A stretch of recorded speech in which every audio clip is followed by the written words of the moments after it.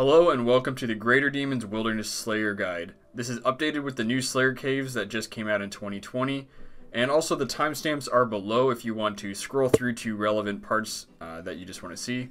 And lastly, please like, comment, and subscribe if you like these videos or have criticisms that can make them better. So really quickly, this is a great task for experience in trying to get keys, and it's also one of the most common Wilderness Slayer tasks that's going to be assigned. So keep watching if you want to learn how to kill them most efficiently. So the first thing we'll be addressing is where you can actually kill them.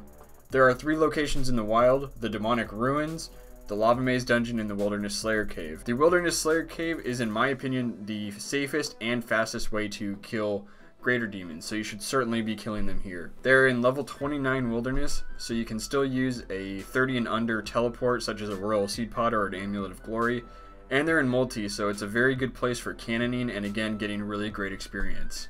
The fastest way to get there is going to be by using a games necklace, teleporting to Corporeal Beast, and running northeast through the Boneyard, going northeast until you see the stairs going down. As soon as you go through the stairs, you'll be right there next to the Greater Demons.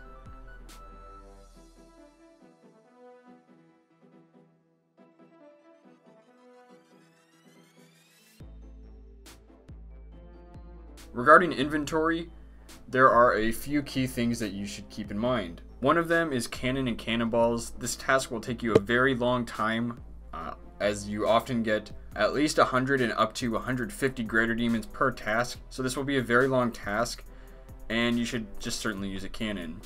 Next you should be using combat boosting potions such as super strength potions, uh, super combat potions or even range potions if you decide to use something like a blowpipe. Next, you'll be wanting to protect from melee while you're killing them. So you'll want at least a few super restores or prayer potions. I recommend somewhere from like 5 to 10, depending on uh, your experience and how long you think you'll be there. Next thing you'll want is a looting bag. You absolutely want a looting bag because they drop a lot of decent drops that you want to pick up.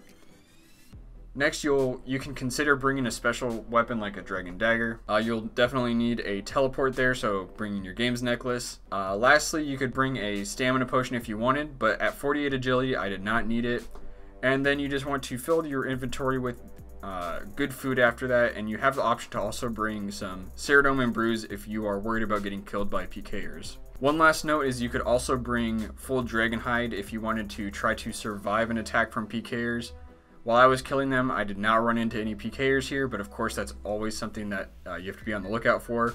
So if you want to be super defensive, you could bring full D'hide as well as some extra Saradomin Brews to increase your likelihood of surviving as much as possible. Next we're going to be talking about what gear you should be wearing. So since we're using a prayer-based approach, you want to wear gear that obviously boosts your prayer as much as possible and you want to bring a maximum of four good items that you wouldn't want to lose on death. So for example, my setup would be a Dragon Scim, a Berserker Ring imbued, and a Slayer Helm imbued.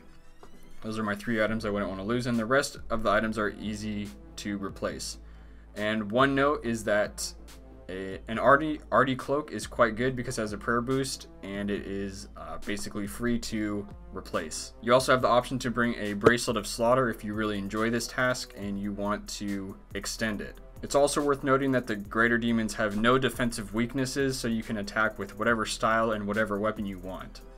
Lastly, just to show you exactly how to kill them, all you want to do is lay your cannon in the middle of them, uh, leave auto retaliate on, keep your potions up, and just do as much damage as possible essentially. And you just keep an eye out for their good drops. And it's a very simple and straightforward task. And again it should be quite uh, quite good experience and you should get quite a few keys while killing these guys. So usually I also include a safe way to do the task. But as I mentioned in the beginning of this video um, this is actually the lowest level in the wilderness that you can kill them and if you go to the other locations, in my opinion, they're actually more dangerous because you have pretty much zero chance of escaping a PK because you're so much higher in the wilderness and you can't easily escape. If you're killing them here, you can at least run south through the dungeon, or you could possibly teleport before um, PKers teleblock you. So I just recommend killing them here uh, with any with any goal in mind. If you have this task, you should just be killing them here, in my opinion. So that's the video. Hopefully you enjoyed. If you have any criticisms, let me know in the comments of how I can improve. Uh, other than that, please like and subscribe. And once again, thanks for watching.